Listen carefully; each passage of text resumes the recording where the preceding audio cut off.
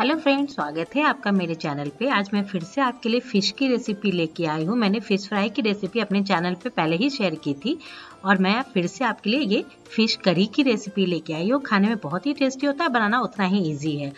तो ये मेरा हाफ़ के जी रेहू फ़िश है। आप जो फ़िश के साथ बनाना चाहते हैं, वो फ़िश ले सकते हैं। तो चलिए शुरू करते हैं।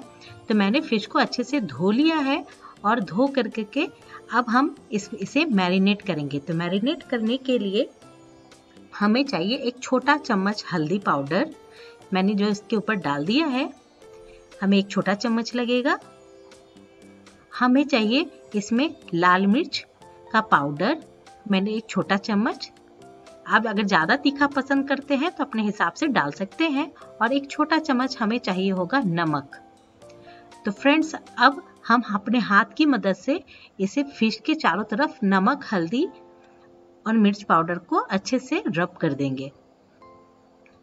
हाथ से करना बहुत आसान होता है फ्रेंड्स, इसलिए हम हाथ से ही करेंगे।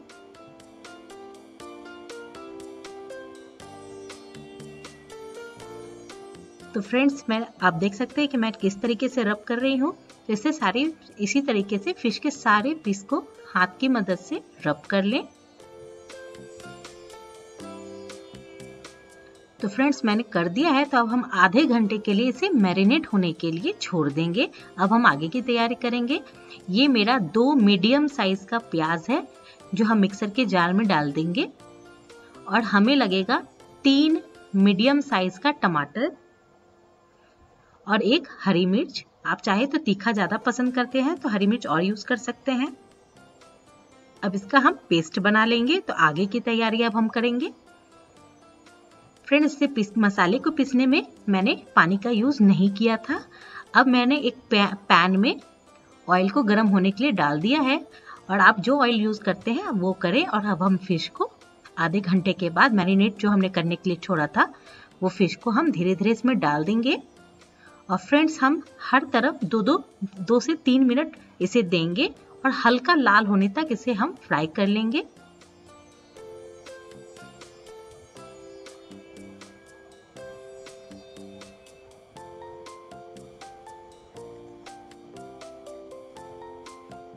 तो आप देख सकते हैं, हल्का लाल होने लगा है तो अब हम इसे प्लेट में निकाल लेंगे।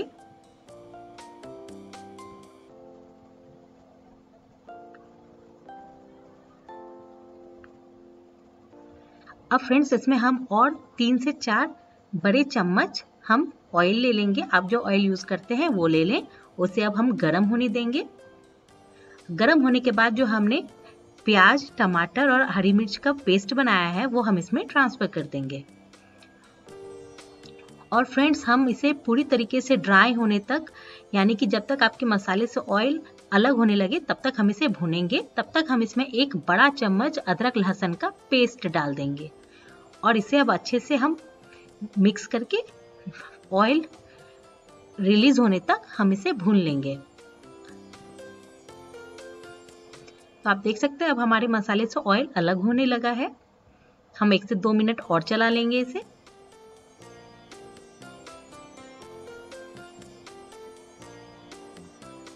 हमें मसाले को बहुत अच्छे से भुनना है। गैस का आँच अपने हिसाब से आप कम ज़्यादा एडजस्ट कर सकते हैं।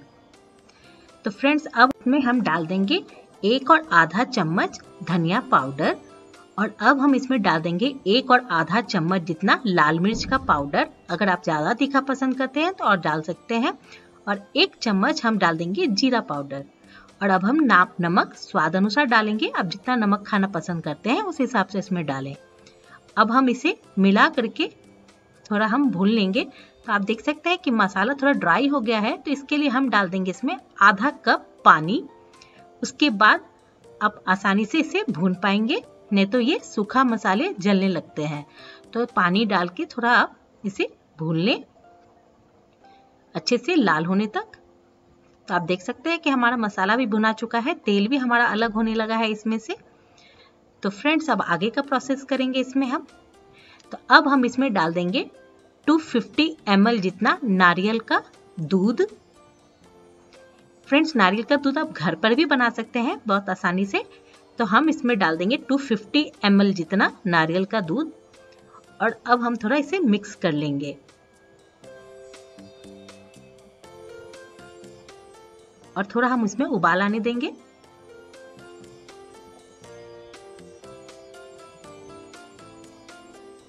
तो आप देख सकते हैं कि हमारा दूध में अब उबाल आ चुका है तो हम आपस में एक बार फिर से मिक्स कर लेंगे इसे। थोड़ा हम दूध को भी अच्छे से पकने देंगे।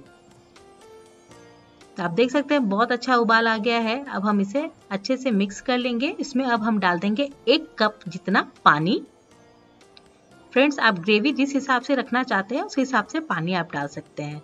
तो मैंने एक कप जितना पानी इसमें डाल दिया है तो अब हम इसमें हल्का उबाल आने पर हम इसमें मछली के सारे पीसेस ट्रा, ट्रांसफ़र कर देंगे। आप देख सकते हैं हमारा ग्रेवी भी उबल रहा है। हम इसे हल्का हल्का थोड़ा हिला लेंगे। ज़्यादा हिलाएँगे तो आपका मछली टूट सकता है। आप हल्के हाथों से इसे हिला लें।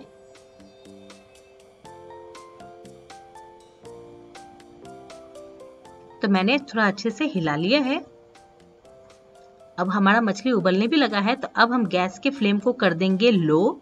लो फ्लेम पे हम इसे ढक करके 10 मिनट के लिए छोड़ देंगे। फ्रेंड्स, हमें लो फ्लेम पे 10 मिनट के लिए छोड़ देना है। अब 10 मिनट हो गया है, लो फ्लेम पे मैंने डाला है। आप देख सकते हैं ग्रेवी हल्का गाढ़ा सा हो गया है तो हम एक बार फिर से फ़िश को हिला लेंगे। अब फ्रेंड्स अब हम इसमें डाल देंगे एक छोटा चम्मच गरम मसाला पाउडर और फिर से हम थोड़ा इसे हिला लेंगे ताकि ये ग्रेवी में मिक्स हो जाए गरम मसाला पाउडर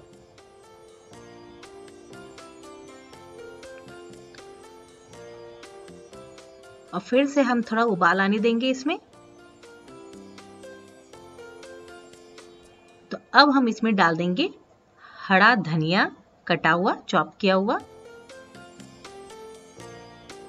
और इसे भी अच्छे से मिक्स कर लेंगे।